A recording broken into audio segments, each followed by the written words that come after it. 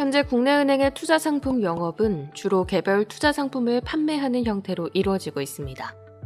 판매 위주의 영업에서는 영업력에 의존하다 보니 고객의 선택과 책임에 대한 불투명성이 높아질 소지가 있고 고객의 개인적인 특성을 충분히 고려하기 어려워 투자 위험이 집중될 가능성도 있습니다.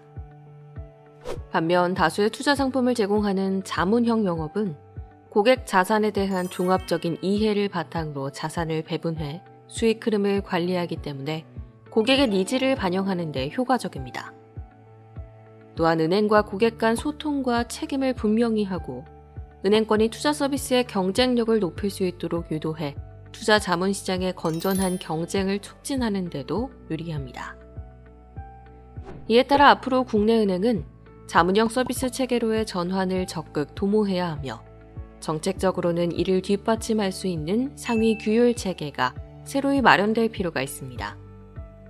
세부적으로는 일정 규모 이상의 투자 상품 영업 시 고객에 대한 이해, 자산 분배 및 평가, 복수의 투자 상품 제공 등 투자 자문 절차를 의무화하는 방안을 고려할 수 있습니다. 향후 자문형 투자 서비스의 정착이 빠르게 이루어져 안정적인 자산 수익률을 제공하고 장기적으로는 국민의 금융자산 축적에 기여할 수 있기를 기대해 봅니다.